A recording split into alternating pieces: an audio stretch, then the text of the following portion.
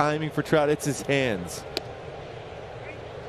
Talked about that when we went on the air. The fact that Rafi Palmeiro is the only player in the history of the sport. And I'm complaining about that. Mike might want a doubleheader here tomorrow.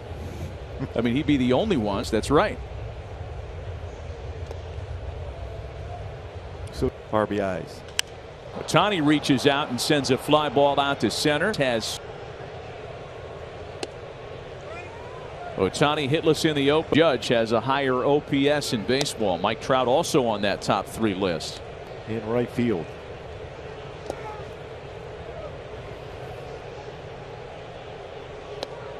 Might be a different country. Malone.